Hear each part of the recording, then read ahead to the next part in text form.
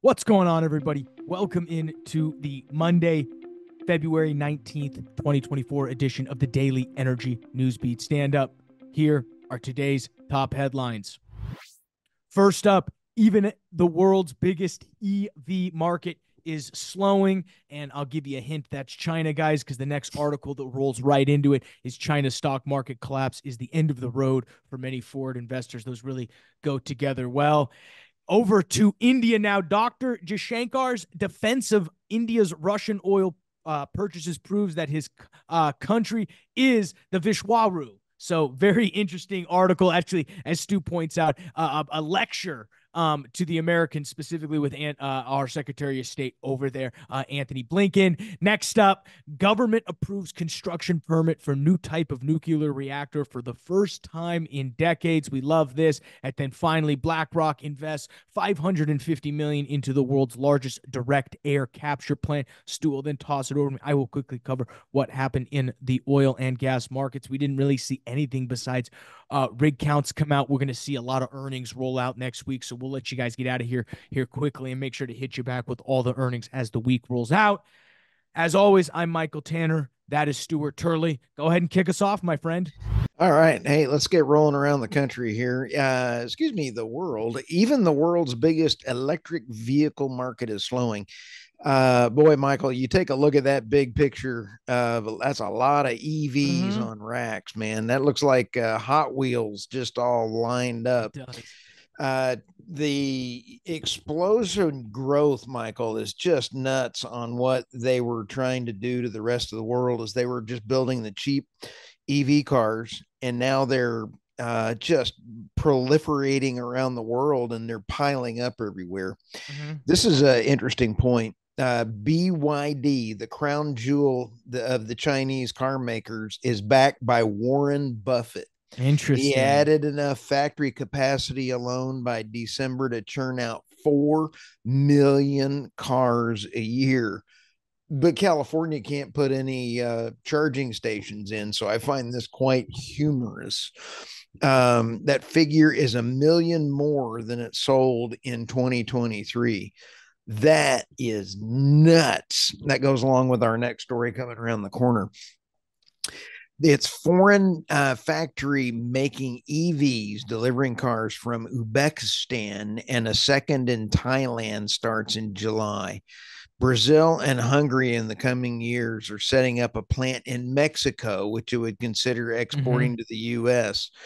that sells for eleven thousand dollars in China. Is that a scooter? Is that you know i don't know man is that holy smokes. Well i i think the the first thing that's that's interesting is that there's a you know there's a math you know there was this boom of buying electric vehicles around the world. I mean there's a reason guys like warren buffett got in on it. You know the last i would say outside of 2023 2018 to 2022 there was quote unquote this explosive growth in EVs. But now that growth has slowed, and as Stu mentioned, you're you're cr- cranking out four million cars a year when you're only selling three million. That's where it's going to get you, you know, uh, Miss Producer. If you can throw up this the, the, the head image, I mean, that's where you get the Hot Wheels. You know, you, you just pick them out right there and just start running them down the tracks.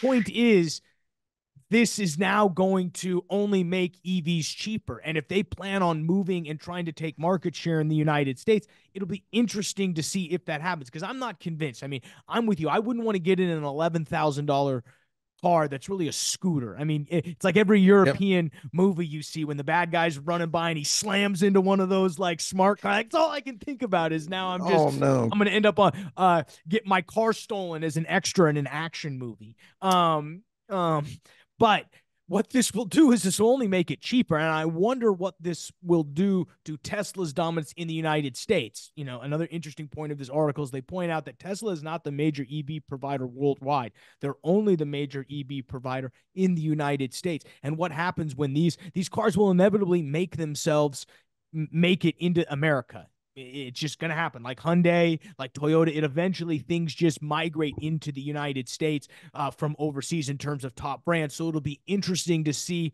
how consumers differentiate. I mean, I, I the Oh, thing yeah. that Tesla has going for it is the autopilot and the self-driving, and you could argue that that is the reason Tesla is more valuable than the fact that it's an EV. It's that they have this completely. Theoretically revolutionary technology that could allow us to basically all stop driving, which would be I'll sweet. I'll tell you, I, I don't know enough about this one yet, but Michael, the insurance around the world for EVs is doubling and tripling. And so I, I think you're going to see a slowdown in EV purchases because of insurance. Mhm. And uh, quite honestly, when you have an EV break, uh, all you have to do is crack one small uh, battery panel, and the Mhm. and the EV's totaled. Yeah. So, you know, I don't know. Oh Uh, no, I don't know if I want to own. I'm not owning an EV. I think, and, and I think what this article points out specifically is that there's a there's kind of an inflection point coming with EVs where mhm. dem- supply is outpacing demand, and that, as an economist, that always leads to a massive price drop. So maybe this will allow more people who want an EV to get it. The question is, where do those price cuts come into? Is it Tesla Oh, yeah. its prices, or is it China and this BYD pushing really hard to get its cars into the United States because they have the price advantage? But you know, Michael, this goes along into the next story here. China's stock market collapse is the end of the road for many foreign investors.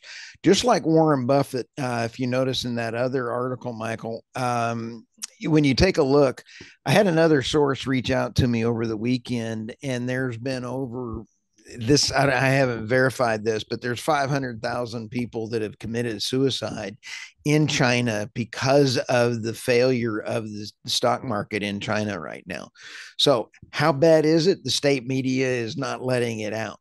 How Mhm. bad uh, are the EVs being pushed out when you got the uh, million, you know, um, overflowing on that? I don't know, but I sure wouldn't want to be invested in the uh, Chinese uh, stock market right now because these two stories go hand in hand. But boy, if that is true, that all those people are killing themselves because they've lost all their fortunes, my my heart goes out to them on that. So Yeah. Well, and we kn- we've been covering on this show what's been happening in the commercial real estate market in China. A lot of this stuff is Yep. propped up by this what was a supposed massive expansion of real estate, and it's it's it's clearly now as we saw in in in, in the, the late 2000s when we had a you know at some point you know you can't keep having a housing boom. We, we've talked about the ghost cities that are out there that were built and nobody Right. moved there. Um and and it's seeming now to affect uh specifically wall street. You know it comes as in you know 13 trillion of debt in terms of the real estate market over there in in china. Yeah, and what's funny is now I don't want to get us off course here, but we have a bet, and I know this would be controversial, but I would rather have the United States debt situation than China's debt situation. It's Why an is that? interesting fact. Well, because we have a much higher and resilient GDP than China in terms of the amount of the amount of the ratio of our debt to GDP is a lot better than China's. We'll have to go verify, you know. And so I it, it's interesting from the standpoint is everybody is now, you know, everybody for the longest time was worried about the United States debt. Still horrible, but it's better than what's going on in China right now. And the issue is China, part of the reason why you'd rather be the United States is China will always need the United States to help buy goods from them because China won't consume the own the goods they make. You see what I mean? We could stop buying goods from China and buy them from elsewhere. We're going to have to pay more for them and do a bunch of stuff, but we could do that. China will always need to sell us stuff. And that's where I think the, you know, of two terrible situations, I'd almost rather be the one that maybe has another option or two than you're the other seeing one. you're seeing a major change uh, in the manufacturing shifting to India. Mhm. Um, and so India is stepping up and causing a lot of the problems with Chinese manufacturing. So let- Absolutely. Let's roll to the next one. Speaking of India, um, Dr. Uh, Jaishankar, I, I hope I pronounced that right. Uh, defense, uh, defense of India's Russian oil purchases proves that his country is the uh, uh, Rag uh, guru, Vishagra guru. I cannot pronounce Indian. My apologies to uh, the entire Indian uh, culture. Uh, Mo, uh, Indian Prime Minister Modi has conceptualized growing his role in global affairs over the past few years as being the world teacher. Um, and I got to hand it to him. They, they are actually stepping up where mm-hmm. uh, the U.S. is uh, going backwards, they're going ahead. And um, in this ar- uh, article, uh, our Secretary Blinken was there and was pretty much handed a uh, oh his hat in a hand when he says we're teaching the rest of the world on our policies. We're buying russian oil. And it was kind of funny just go huh? Well, isn't antony blinken sitting next to him? Yes. It's even funnier. You can't buy that kind of entertainment. Um whoever trained our political staff needs to have a new interview. Well, it, what India has shown us and, and and what they've said, and I don't know if, if if you can take this, you can take this for what it's worth. They've shown us is they're going to look out for the Indian people. We're going to continue to buy as cheap of energy as possible because we understand that the easiest way to rise people out of poverty is to provide them low cost energy. You may not like the tactics, you may not like the road, but the end in order to raise India up in economically is only going to come through specifically ch- or uh, cheap cheap energy. We're going to talk about specifically in, in my segment the, the, the inflation data that came out. I mean, we are right. still experiencing inflation here primarily due to how expensive energy was. I mean, as an oil man, I love eighty dollar oil. As a consumer, and I'd love. I it, COVID was nice. It cost me like twenty bucks to fill my thirty gallon tank up. You know, and it's it, it it's that give and take of if you want to see economic expansion, you need to have cheap cheap energy, wherever it comes from. Right now, the cheapest place is Russia. I promise you, if tomorrow solar was the cheapest form of energy, India would cover themselves in solar. Everybody would. I mean, that's the funny part is the market will always go towards the most efficient, which is generally the cheapest option. Right. Um, and that's why I don't know about the EVs that we uh, had on this energy thread today. Um, because I EVs, the insurance companies. Let's add this other as a rule. Insurance com the market will go to the cheapest form of energy until the insurance companies get involved and then they will determine yeah. what watch what what just follow the insurance companies if they're insuring it it's probably safe that's exactly right. Let's What's go next? to the next one here. Government approves construction permit for new type of nuclear reactor, first time in decades. This is huge. Uh, the U.S. Nuclear Regulatory Commission has issued a construction permit for a new type of nuclear test reactor in Oak Ridge, Tennessee. Molten fluoride salt instead of wa- water as a coolant. This is really huge uh, Kairos Power is uh, thrilled to have uh, it's archived its major regulatory milestone as fi- final preparations to start construction at the Hermes site next year, said Mark LaFleur, uh, Kairos Power Chief Executive. I'm going to reach out to him and see if mm-hmm. I can get him on the. In fact, I already Absolutely. have. I'll have to reach out again.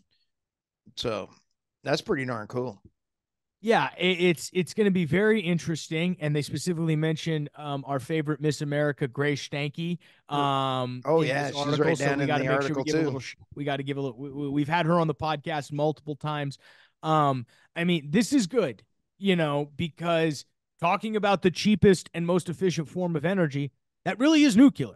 You know, guys like Doug oh, Sandridge is. have accurately laid out why, if we could do this properly nuclear is the best move. The problem is you've got these regulatory commissions, you know, legislation through regulation. It's making Ugh. it's becoming it so hard to permit these that we we get all excited when just a new construction permit is there. It's a test reactor.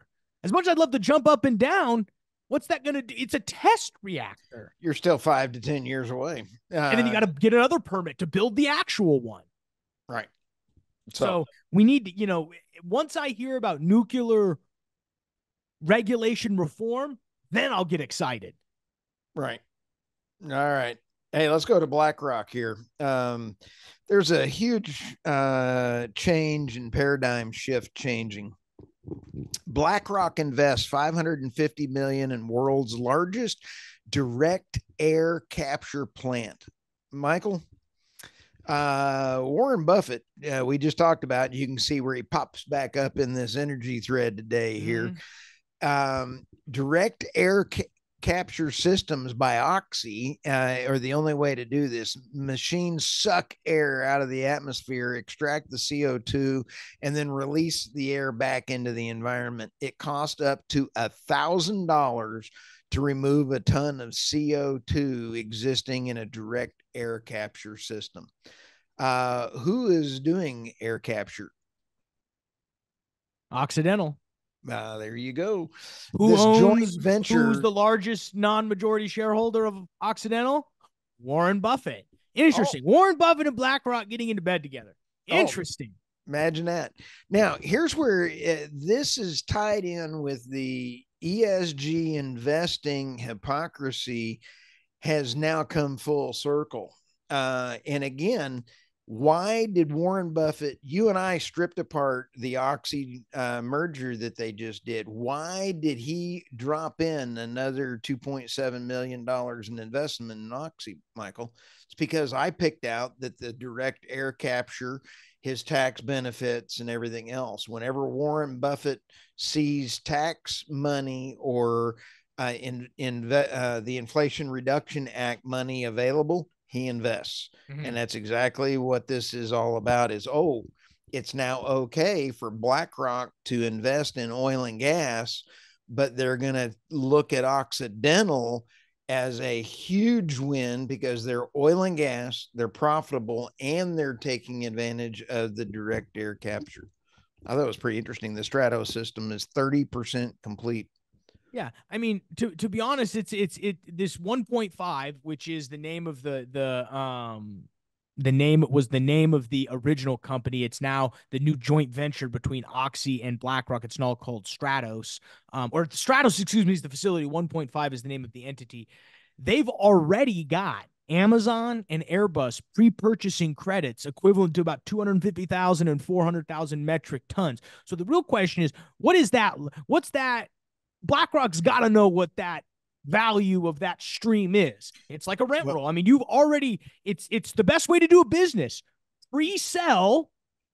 Yep. Pre-sell your product. Why not? Well, if you take a look, this also goes into some of the other stories that we have ran last week, and that is the uh, climate and carbon taxes that are coming in on oil and gas companies. Oxy will survive this because they have their own credits. If you take a look at other uh, um, legislation coming through regulatory actions, and that is the carbon methane taxes, is going to be in the same thing coming around the corner. Mm-hmm. Absolutely, absolutely. But I don't think Warren Warren Buffett is a smart guy, so I have a hard time now. Do I think Oxy?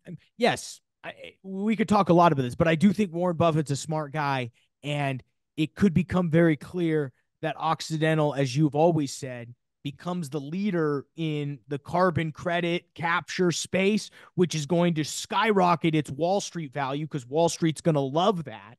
Exactly. And who's at the center of it? Warren Buffett. Well, the yes.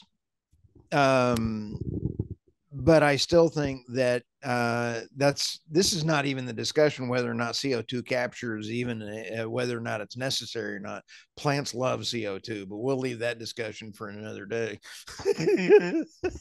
All right. Well, before we hop over to finance, we'll go ahead and pay the bills here. Um, as always, the news and analysis uh, that you're hearing is brought to you by the world's greatest website, www.energynewsbeat.com, the best place for all of your energy and oil and gas news. Stu and the team do a tremendous job making that sure that website's up to speed with everything you need to know to be at the tip of the spear when it comes to the energy and oil and gas business. You can uh, uh, go ahead and hit the description below, find all the links to the articles, um, find uh, links to the transcripts. Um, we're going to be rolling out a survey in the next few days. We really hope you guys uh, go ahead and fill that out. So check out the description below. We'll give you everything that you need to know. Um, um, to that, you can also check us out, dashboard.energynewsbeat.com. It's our data news combo product. We've got a lot of cool stuff rolling out alongside of that. So please check that out. But let's go ahead and and and, and talk finances for a second, guys. Uh, S&P 500 um, a little bit of a bull market this week after after kind of tumbling Monday morning in terms of the open. W- what was interesting though, Stu, is we did see a pretty hot inflation um, report that came out on Friday, specifically when it comes to uh, the producer price index, which is again, it's kind of that measure of wholesale inflation. We saw an increase of 0.3 percentage points, um, which is again higher than the expectation um, of 0.1. You Go ahead and include uh, excluding food and energy. This is an, another interesting fact. So, core producer price index, removing food and energy, which they sort of um, uh, look on a different scale, rose 0.5%, which was higher than the expectation of 0.1. So both of those numbers kind of blowing it out of the water. And what does that mean for the overall markets? Why did the markets Why react? do they do that, Michael? Because if they take food and gasoline out, because of the regulatory issues going on and it's an effective interest rate uh i mean inflation rate of 18% if you leave those in there but that's what people feel when they go to the the store. Yeah it's it's a little bit of a cat and mouse game when you talk about like core producer price index versus the wholesale producer price index. You know the, the cat the, and mouse sounds illegal to me. Yeah, I mean, ironically, energy prices have come down a little bit on average since the peak. I mean, but the problem is people, you know, when when when when when the administration and the Biden administration says inflation is coming down, I mean, they're not wrong. The problem is they were also there for the highest inflation ever. So when you're coming down from a peak, yeah, at some point before you hit the next notches below, you you technically if you if you start measuring at the top, you are going down. But this is a what you know. This is. But they're going to raise interest bit... rates again this year. Oh yeah, that's I mean, and that's what the market was fuel for of, and that's you know specifically if rates, you know, if they continue, if if this continues, the idea of three rate cuts this year is going to turn into two and that's going to. I mean, the market's already above five thousand, uh, uh, uh, five uh, five thousand right now for the S and P 500. Nasdaq about seventeen six. So I mean, there's still juice in there, but it's man, it's it's becoming um pretty big. You know, the, the interesting part is the producer price index is the cost of the goods and services that people that things that produce producers feel. The consumer price index came out on Tuesday. That was 3.1 percentage points. So you got to remember, consumer price wow. index is what we feel. Producer price is the prices that producers feel. And then things happen, the market happens in the middle that changes those percentages. So specifically, you know, we also did see the CPI come out at 3.1 again, expected to be 2.9 percentage points. So just uh, a little bit higher than expected. You know, in terms of what that did for the overall oil and gas markets, we didn't really see much on Friday. We saw rig counts drop um, by about two guys. Um, that came out via our friends over at Baker Hughes, 621. So, you know, it's funny. Last week we saw a, a, you know a rise in in, in in in two rigs. Ironically, came from the natural gas, which is as we record this right now, one dollar sixty cents. That's not good. A dollar sixty is is going to be tough to make a little bit of money on. But um, as as as I think operators move forward, they're going to become a little bit more cautious. Those two rigs were actually dropped from the gas side. So, and we're still we're still about 139 rigs lower than we were last year, where oil traded about this amount. So it's pretty interesting to see. I, I saw this pop up, Stu, um, um, uh, la- uh, on Thursday, but I, or yesterday, but I wanted to go ahead on Saturday. I want to go ahead and talk about it. ExxonMobil is abandoning, or ExxonMobil dismisses court bid to truck oil in Santa Barbara. This is, yeah, you just it's another nail in the coffin for what California oil used to be. Uh, ExxonMobil on Saturday announced it's abandoning its legal challenge against Santa Barbara County, effectively ending the company's proposal to transport uh, uh, oil up and down the coast, halting its plan to revive the three shutdown drilling platforms offshore in Gaviota. Um, the proposal would have allowed the company to truck millions of gallons of oil per week on Highway 101 and Route 166 in what is seen as an effort to resume the operations of the region and restart three offshore platforms that were shut down following the 2015 oil spill at Refugio refinery. Um, you know, Santa Barbara denied the plan. They filed, you know, it was originally denied by Santa Barbara. Uh, Exxon filed a lawsuit. They went ahead on Thursday, or excuse me, on Friday, and went ahead and notified the U.S. District they'd be dismissing the lawsuit um, after an intense amount of pushback. Um, everybody said, "Woo, yay!" But what does this mean for Exxon, or excuse me, our, our favorite state, California? Higher energy prices, you'll probably have to keep buying from Russia. Well, uh, considering I, you you heard it here second, Michael, that uh, in my opinion, they will be buying gasoline and diesel from China uh, because China has increased their uh, downstream capacity by a million barrels per day. And considering their uh, Governor Newsom uh, has potential contracts in place, you'll be buying all of your refined products from China. Tell me that's not good for the environment. It's not good. I mean, I'm also I, am also for I'm also pro U.S. pipelines. I mean, this is also what's funny is they keep saying that oh, there's all these oil truck spills. Well, cool. Can we get a pipeline permitted then? No, you can't. No. Okay. so, you know, I think this is an absolutely scary quote. If you're a California oil producer, uh, Mati Waiya, the executive director of the the, the Wishtoyo Chumash Foundation, quote, "We celebrate this massive victory against Exxon and warn any and all future resource extractors that we will not stop fighting." I mean, it's all out war over there. No, uh, if I was a oil company, I would never do business in Colorado or New York or California. It's hard to. Luckily, there's no oil and gas really in New York, so you don't have to worry about that. Uh, I I vote that we cut them all off of all fossil fuels. All those in favor? I, I guess, but uh, you're you're basically writing the death of all those people. I mean, we don't got enough to supply it, so that's the crazy part. If you were to actually do that, if these people got their wish and had no oil and gas in their state, they would eviscerate their population within exactly. months. Well, well, New York would be even worse because you'd freeze to death. California, you might be able to survive a little bit because at least it's nice. Be careful what you vote in or you ask for. Absolutely. So, all right, Stu, what else? What should people be uh, watching for this week? Well, I'm going to be kind of interested to see how uh, the political situation rolls around here. Things are heating up. T- Tucker Carlson stuff is really uh, coming out there around the world. And uh, I think you're going to see a crazier world in this next few months. It's about to happen. I'm shocked you think the world's getting crazy. I'm telling you, I'm shocked. I just, it's. St- I'd just like to give a shout out to all of our listeners and all of the mm-hmm. feedback mm-hmm. that we're getting. And I'd also like to thank CNN, CBS, ABC, all of the other major news stream uh, for lying and giving us a chance. Michael, I think that our podcast is going off the roof thanks to those knuckleheads. yeah, no, it's it's it's very convenient. Um, we appreciate everybody. Feel free to leave us a five star review on, on any and all platforms. Um, just say Stu's a knucklehead, but uh, but but the show is good. So, all right, guys, with that, we'll let you get out of here. Get back to work. Start your Monday. Hope it's a great one. We'll see you tomorrow.